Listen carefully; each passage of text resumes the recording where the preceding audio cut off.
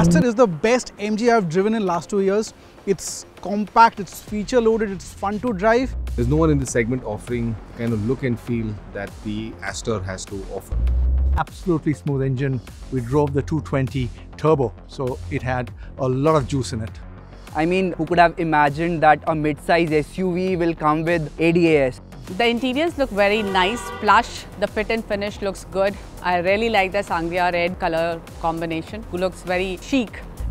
Urban mode is nice for city driving. It is very light and it makes driving the car a very easy experience and dynamic mode adds some weight to the steering so that is helpful when you're driving the car a bit aggressively. It really is something convenient because you don't have to look your phone for weather, a lot of other things. It's like a Wikipedia on your dashboard. You can ask a lot of questions and get answers on the fly.